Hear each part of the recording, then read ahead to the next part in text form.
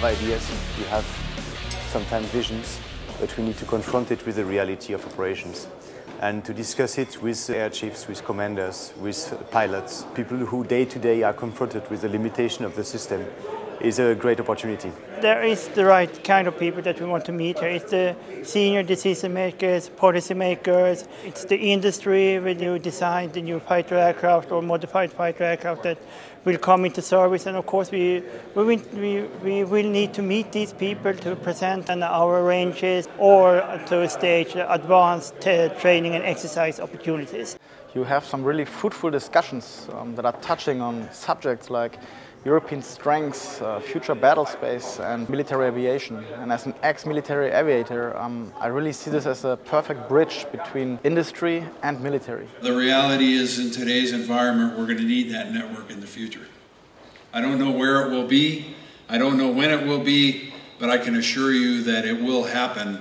The question is, uh, will we be ready to build coalitions of the willing and to engage in a way that's most effective to meet our objectives.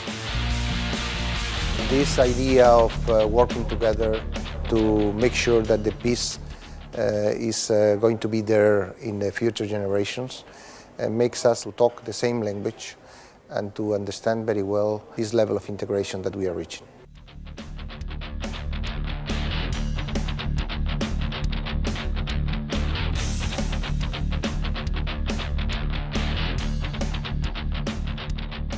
International Fighter 2018 is Ocean Software's second visit, uh, but this time as a sponsor. Uh, so we brought uh, four of our global team uh, to the event this year. Uh, and Ocean Software is an Australia-based uh, defence technology company. And so for us to participate in this event is crucial to be able to engage at an international level. We can come to one spot but see multiple customers, you know, prospective air forces. We don't have to make that global journey.